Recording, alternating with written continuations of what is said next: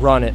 One thing that I've realized in my life is whenever I don't feel like expressing myself, I have to remind myself that it's a disservice to the world. It's a disservice for you to not express yourself.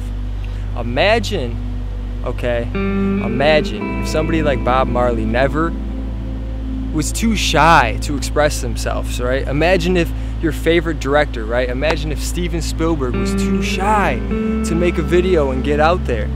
So it's something that I have to remind myself every day.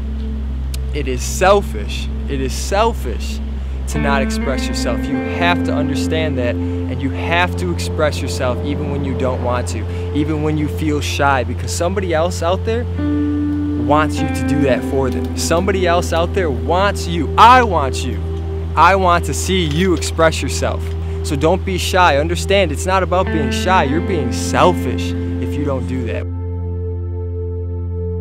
It doesn't have to be perfect. Nothing's gonna be perfect. Even a movie is is even Steven Spielberg's movie, even Bob Marley's music is not perfect. At the end of the day, it's all subjective. So expressing yourself is the most important thing. And we need, at these times, 2017, we all have the ability to do it, right? The more we can express ourselves, the more we can learn through each other.